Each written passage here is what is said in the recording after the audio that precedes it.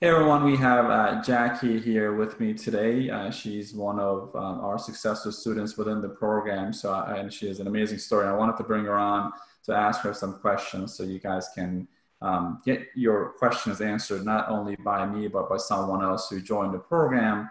And also, I, I want to, you guys to hear from someone else besides me uh, and and see what what it is, what, what is possible with. Um, with with being in this industry, merchant cash advance and alternative lending. So Jackie, thanks for joining. Appreciate your time. I know you've been running around, but you made time for yourself and you're actually joining from a hotel room. So I appreciate it. Happy to be here. Uh, so Jackie, so uh, many people who join the program or who talk to me about joining, they all come from different backgrounds, but there are some commonalities. Either they uh, thought about becoming an entrepreneur or they've tried it before or or maybe they had a job for a long time, but always had their eye and, and just doing their own thing and being independent. So you kind of fit that story too. So can you tell us how you gotten to make a decision to get into this business or get in any business pretty much uh, leaving what you were doing before?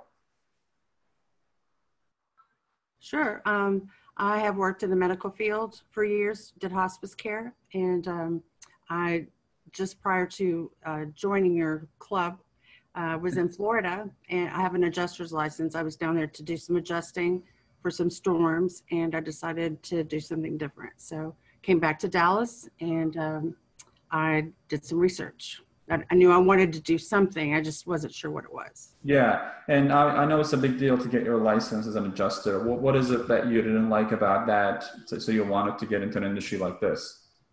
Well, when there's a catastrophe, uh, for instance, the hurricanes that hit last year, Harvey and uh, uh, down in Florida, um, you have to crawl under people's homes. You have to get up on the roof, and it's a very difficult time for them. It's a it's high stress, and um, it's just it, it it just was very intense. Gotcha.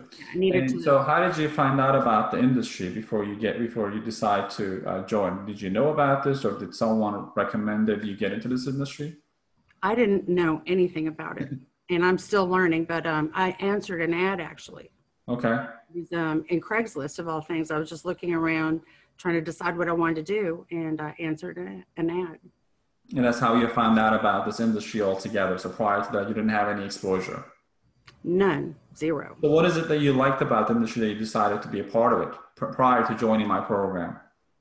Well, I know that their uh, businesses always need money. I had no idea that they had such a difficult time borrowing money from banks. Mm-hmm. And um, given that scenario, um, all the business that we have in the U.S. they need money, and I knew that I could find them, but I just wasn't sure how. Yeah, I mean the product is super hot, right? It's this it will never go out of fashion. Businesses, especially small businesses, they need money to grow, prosper, survive, uh, you, you, know, grow out of uh, their current situation, buy multiple businesses. So the, the product itself is super attractive. Uh, it's just a matter of, uh, you know, offering, getting in front of them and, and, and being the right consultant for them. So then you somehow came across uh, our program, maybe through one of our ads. Do you remember how that happened? I sure do. I was um, looking for different ways of uh, trying to find businesses that needed money. And I was looking online, asking questions. If I were, if I needed money, how would I do it? And um, I, I love YouTube. I go on YouTube all the time. So mm-hmm. check there, and I saw you, and I saw your website, and I read everything, and I watched all the videos at least a few times, and um, I watched some other videos, and uh, I was actually in training with the company that I was going to work for, mm-hmm. or with, should I say. And um, I did go through their training. It just wasn't enough it just they gave you the highlights and just some ideas how to market and how to find um, find customers. And it just wasn't enough for me. I needed more. I needed okay. a little bit more structured and you came through the training then you decided to uh, join. Um, then then how was that different from the training that you were getting from this other company versus what you found uh, out after you joined our training how much is it different or what are the differences? What, what are the main differences that you've noticed? Well, um, this is much more in depth. Um, we, we can have our, our questions answered, which is, I, I didn't expect that at all. Um, it tells us so many different ways to market, so many things. If you want to uh, get online or if you want to do this or if you want to do that. There's just so many options. And one of those things will fit everybody. But for me, at least three of them are going to be good for me. Okay. And so what kind of transformations have you had since you joined? So you learn about the product, you, you, you join our, our training system, you're going through it. So I know that uh, you, you funded uh, deals. So let's talk about what happened and your commissions and how did it all work out?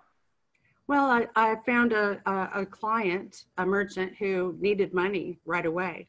And um, I, took, I uh, submitted his application through the company I was working with and it was declined. And I thought that that was just it. I didn't know what else to do for him. I thought, well, if they're not going to do it, there's no, I don't know what else to do. Maybe right. we'll wait three months and see if your credit gets better or whatever. And we'll try to find somebody else or not find somebody else, but maybe uh, resubmit it. And when I got into your program, it was a whole world opened up. Oh, I could do this and I could do that. And I was, it was a thrill because I didn't know that all those uh, options were available. I didn't have to stop there with uh, uh being de um, declined. Yeah, for people who might not be familiar, so the, the, the backstory is normally when you, so when it comes to getting your training um, at being an ISO or, or, or being an alternative lending specialist, there are really few options, and most of them come from the lenders themselves. Um, so the, whether they're the direct lender or, or they're the uh, large ISOs, they do provide training to people. But what happens is when you get your training from them, they ask you to exclusively work with them, uh, which is okay. Uh, but the problem is that when you send deals to to the lenders, if if, if they do not approve it, um, then uh, the students have their own idea that that's just end all be all. That deal is done, shut dead, and you can't really do much. Well, since we're dealing, they're working in the, in the alternative uh, lending space, this is not like traditional banking. So if you go through national banks, their approval process is very similar to each other because they're highly regulated.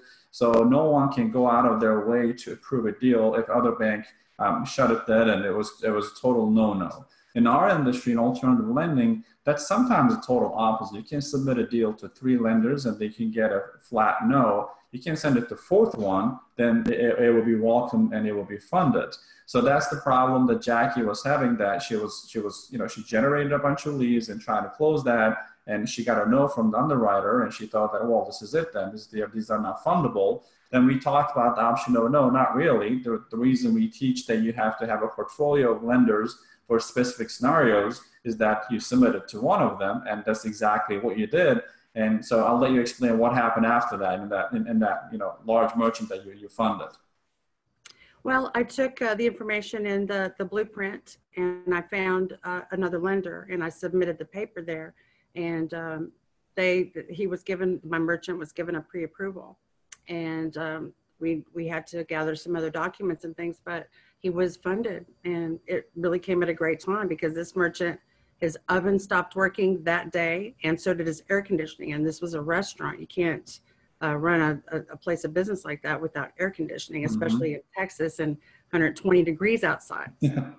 yeah so it was really very timely too and he got how long did it take for him to get his money from the point that you got the pre-approval to the point that his, his bank account was funded well, through no fault of the lender, uh, the the merchant, it, it, took him a long time to yeah. get his documents, and I actually had to work with him quite a bit. In fact, there was a time during that time of getting his documents, I thought that he just wasn't interested anymore, and I let you know about that.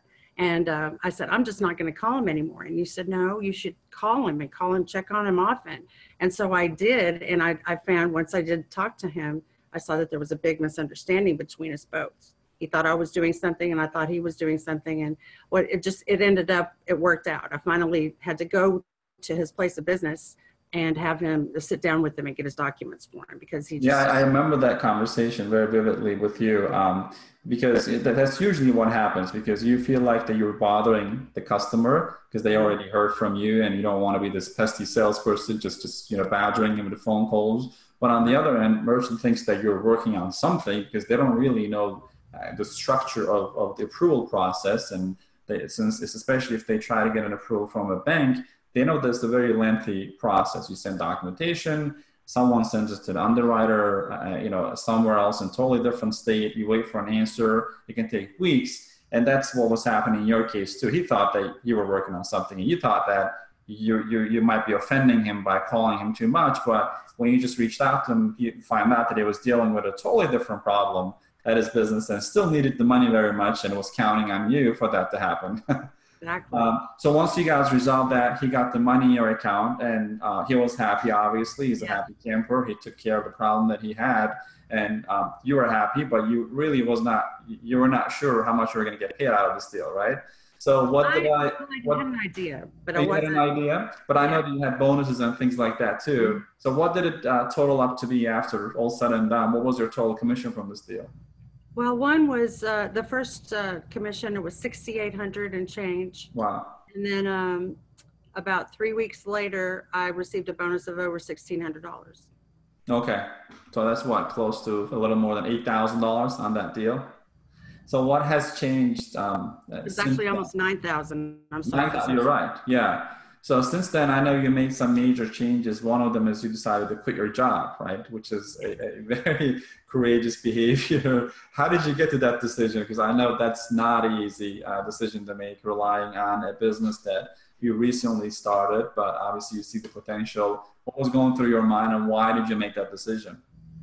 I quit my job because um, I was working nights and I had to. I, I wasn't sleeping enough and I wasn't able to spend enough time working on this. And that's what I really want to do. Okay, so you found out that you wanted to work on this more. Yeah, perfect. So right now you're focusing on this uh, full time. You, you made the transition. Obviously, you're uh, you're your own boss, and then uh, you know helping businesses out. So we have people, a, good percentage of people who come through um, the webinar, the free training, or the videos. I have a lot of videos, as you know.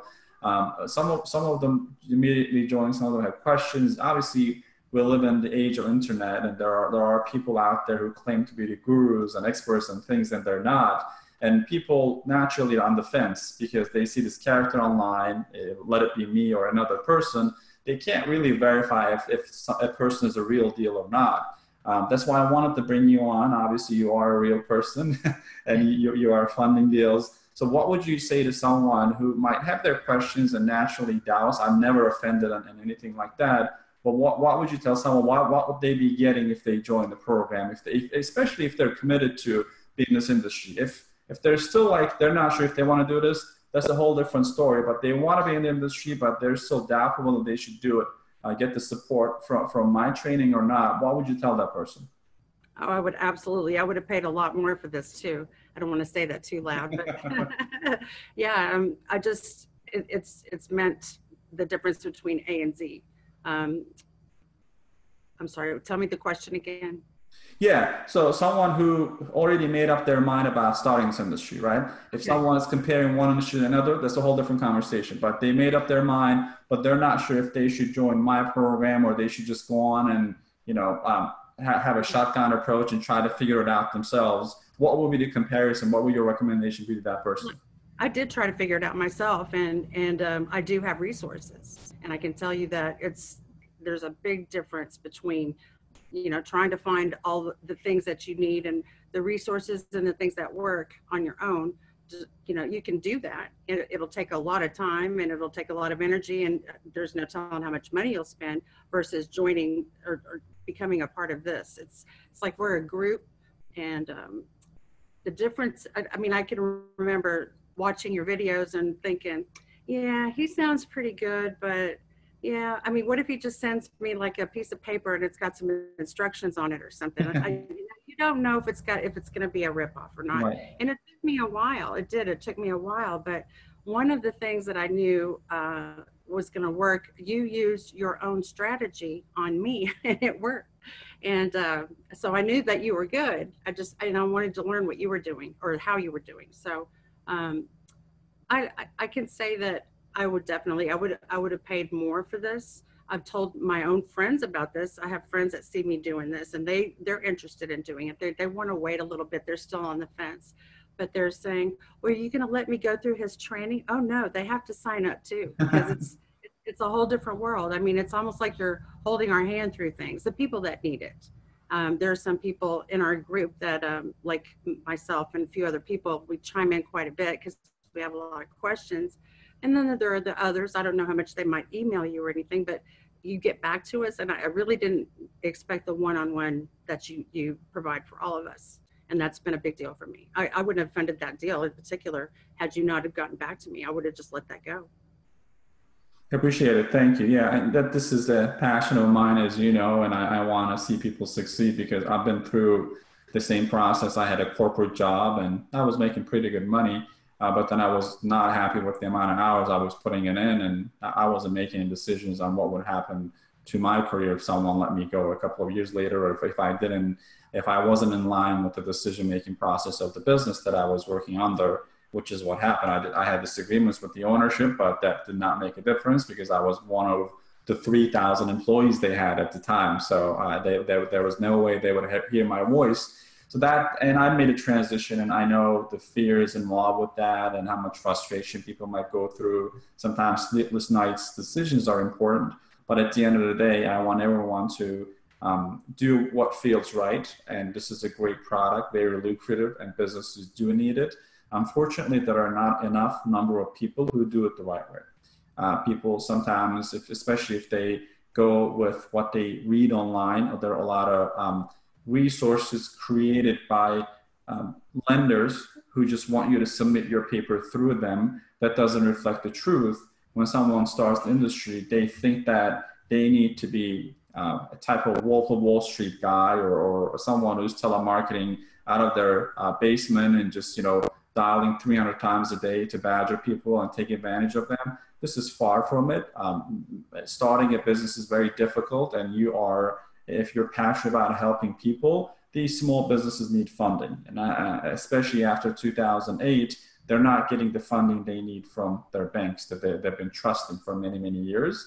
And it, it, it might not be the bank's fault. I don't really know how the mechanics work, but they can't get the funding they need and, and the, uh, the programs under alternative lending allows people to do that, right?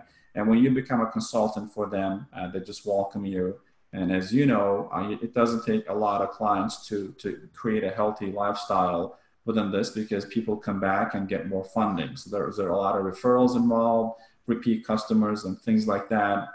Uh, so it's a matter of choosing that or choosing to go back and do what you're doing, although you might not be happy. What I see is a lot of people are doing things just to just to make money although although they're whether they're happy or not is, is secondary because they need they're in the survival mode and i want to make sure that we, we put together something. And it's not just me as you know we have veterans in the group who jump in and help out. Um, that's the only time that I, have seen this in the merchant cash advance industry in the years that i've been.